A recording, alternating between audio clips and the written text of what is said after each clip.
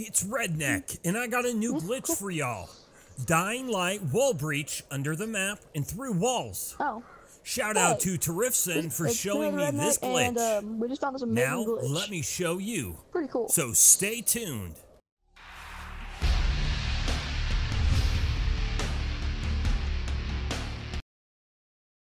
Before we dive into this glitch, do me a favor and drop a like. Share us with your fellow Dying Light players and enthusiasts.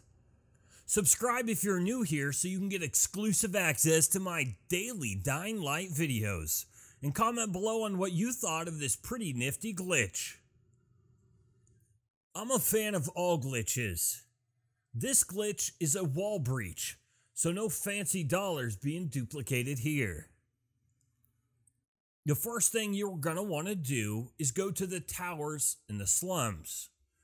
Now, we should all recognize this place unless you just started, and you should still recognize this place. Now, this glitch, it is a little tricky, but it's very easy. So don't worry if you're not that good with glitches. You want to go up to the couch, right here where I'm at. You want to get on top and go into this corner and get as close as you can. Now, you want to do jump, but you don't want to just jump crazy.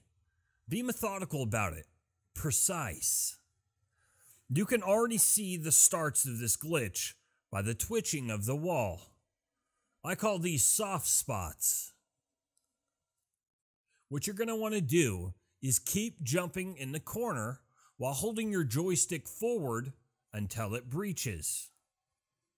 Now, if you just want to breach, you can just push the joystick towards the wall, and then once you glitch, you're going to glitch on the other side of the wall outside. Hey, it's pretty cool. Now, that's part one of this glitch. For the other part, it, it is a bit more tricky, but it's worth it. You want to follow the steps until you actually breach the wall. And at that same moment you breach the wall, you want to pull back on your joystick to prevent you from going all the way through the wall.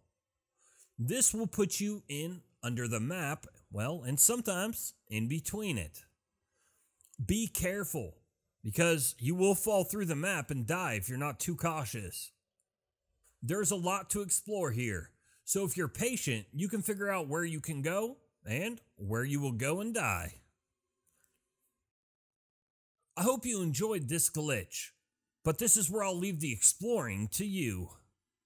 Enjoy this glitch, but before you go try it, leave a like on this video, subscribe if you're new to show your support and never miss another video I release, and comment below if you want more glitches for Dying Light. I'm Redneck. Until next time, peace.